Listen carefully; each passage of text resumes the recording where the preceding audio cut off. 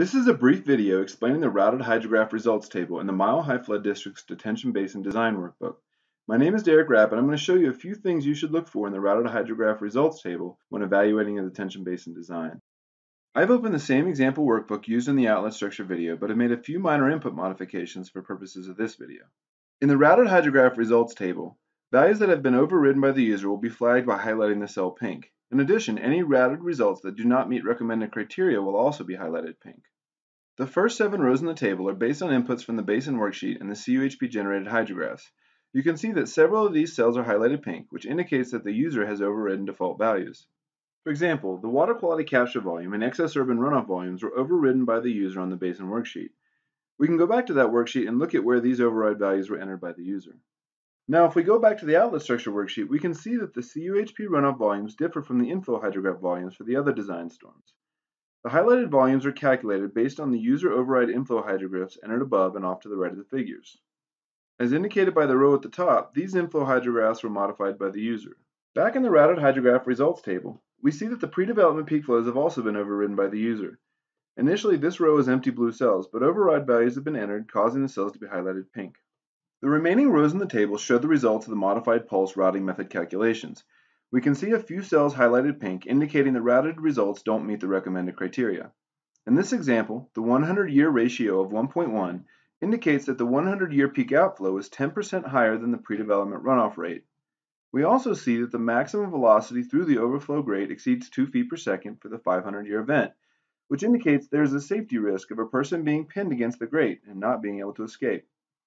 The last two pink cells indicate that the water quality capture volume drains out in less than the desired 40-hour drain time. We will attempt to address all of these concerns and remove the pink highlighted cells from the router results. I recommend focusing on concerns with smaller design storms in the lower part of the outlet structure first, and then working your way up through the outlet structure to address larger design storms. In this example, we will start by modifying the orifice plate to target the water quality capture volume drain time of 40 hours. In order to increase the drain time from 38 hours, we need to decrease the water quality orifice size. You could find the orifice area by clicking the automated sizing button. However, in this example, I will just manually decrease the orifice area per row from 2 square inches to 1.9 square inches.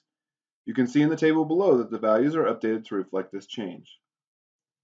This warning message just lets you know that the change in orifice size to match the water quality capture volume drain time has resulted in the five-year design storm not draining out within 72 hours, which violates the Colorado revised statutes related to water rights. If we scroll back down to the results table, we can see that the 40-hour water quality capture volume drain time is achieved, and the cell is no longer highlighted.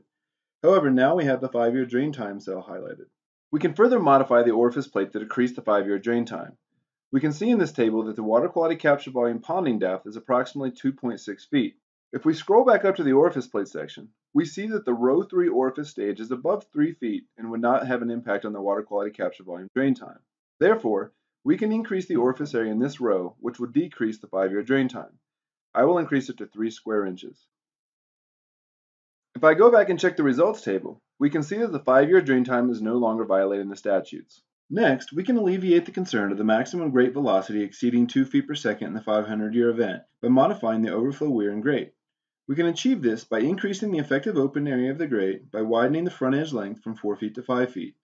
This increases the grate open area from roughly 11.5 square feet to 14.4 square feet.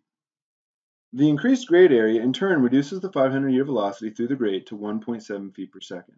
Finally, we will reduce the 100-year peak discharge to below the pre-development runoff rate. This is best achieved by lowering the height of the restrictor plate on the outlet pipe. The current restrictor plate height is set equal to the crown of the pipe and has no effect on the discharge rate. You could click on the sizing button to solve for the pipe diameter and restrictor plate height that matches 90% of the pre-development rate. However, we are just going to manually change the height from 18 inches down to 14 inches above the pipe invert. The restricted outlet pipe reduces the peak flow to 90% of the pre-development peak flow, as shown by the ratio of 0.9.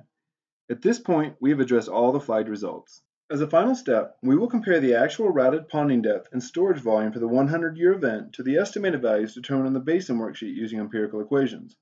We would expect a difference, especially since the inflow hydrographs were overridden in this example.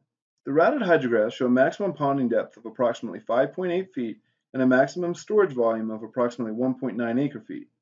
This is slightly less than the empirical equation estimates, which were a depth of 6 feet and a volume of 2 acre feet.